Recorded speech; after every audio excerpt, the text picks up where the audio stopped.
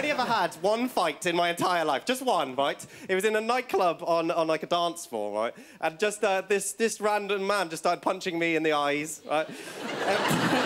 So I'm trying to defend myself in like the only way I know how. I'm just fucking. I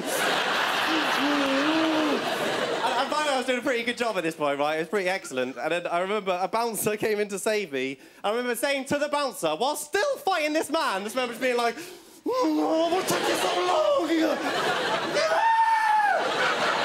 Honest to God, went, sorry, mate, I didn't think you were fighting. I thought you were dancing. Not dancing.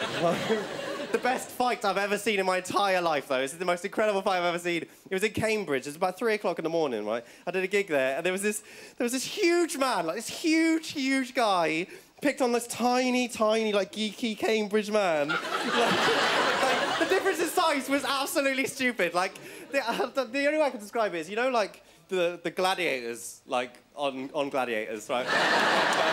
and like the contestants on Gladiators. Like it looked the same difference in size. Like the little guy looked like he'd be like, "Oh, my name's Brian and I'm from Bristol." Mm, like the big guy would be like, "Oh, my name's Hunter and I fuck women." Um,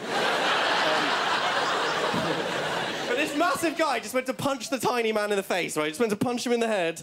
The only move that the tiny man had in retaliation was incredible. This is all he had. He just went, "No!"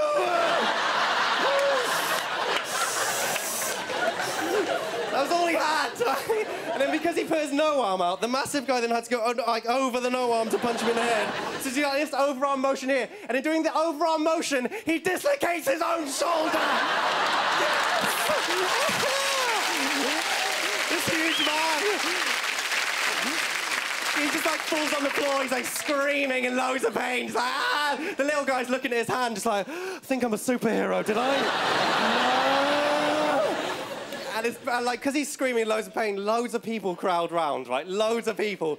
This tiny man has never had so much attention in all of his life, right? There's loads of people looking at him. This huge man screaming in loads of pain. So this is genuinely what he did, and it blew my mind, right? He's just in loads of pain, he just goes,